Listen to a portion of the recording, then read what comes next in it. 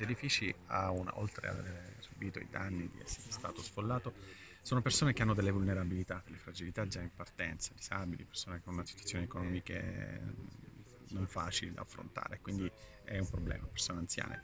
Eh, ho incontrato oggi anche il commissario dell'Ater, ho sollecitato a, a dare un'accelerazione, so che già sono partite con alcune progettazioni, in questo momento sta avvenendo un, un cambio di passo. Diciamo.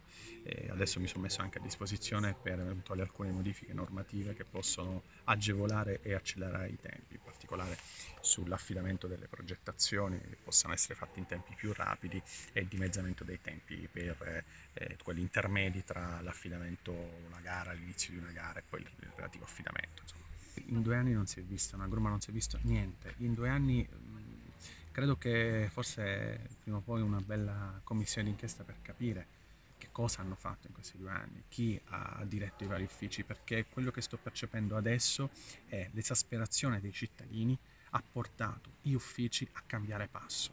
E quindi oggi all'Ater abbiamo commissario, all'USR abbiamo un nuovo dirigente, all'USR Lazio abbiamo un nuovo dirigente e così avviene nelle varie regioni e sta cambiando il passo. Vuol dire che qualcosa non ha funzionato fin dall'inizio e chi non ha fatto funzionare qualcuno a un certo punto si è reso conto che era meglio metterlo da parte. Le responsabilità delle regioni sono enormi. Questa governance era eh, decisa per dare eh, alle regioni autonomia nel gestire la propria, la propria fetta di, di soldi stanziati, perché di questo stiamo parlando. Le regioni e l'Abruzzo in particolare l'ha gestita male, questo è un fatto. Dico, lo dico ai cittadini non voglio distrarmi dal, nel cercare i responsabili. Sarà un, ci sarà un momento storico in cui i responsabili saranno tutti trovati.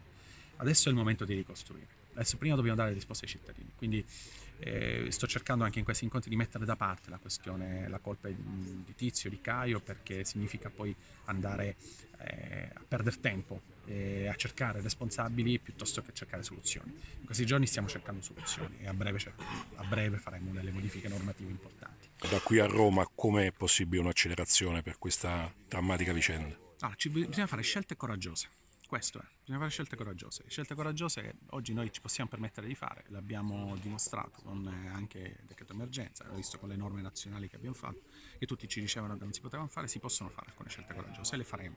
Scelte di deroghe per eh, determinate mm, procedure, scelte di accelerazione, scelte di semplificazione di alcune procedure partendo con i protocolli ovviamente per i controlli, con la Guardia di Finanza, le procure sono sempre attive.